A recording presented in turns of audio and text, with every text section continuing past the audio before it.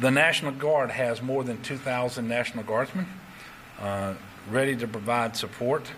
They have staged 94 high water vehicles across South Louisiana, uh, also 55 boats, I think, and even dozen aircraft.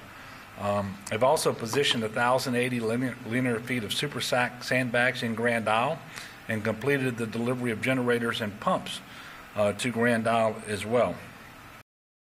So the surge could be up to 10 feet in southwest Louisiana, and, and they really don't get too precise. They basically tick, pick Morgan City, which is in the center of the state, and that's Morgan City West. It'll be less than that from Morgan City uh, towards the east, um, but the storm appears on a track uh, that will take it very close to, to Lake Charles. With landfall not scheduled to happen now until Wednesday night, there's plenty of time for that track to adjust, uh, whether it's east or west, we don't know.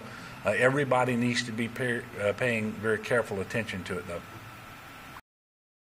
We are not opening any state run shelters. Now, we are prepared to do that if we need to.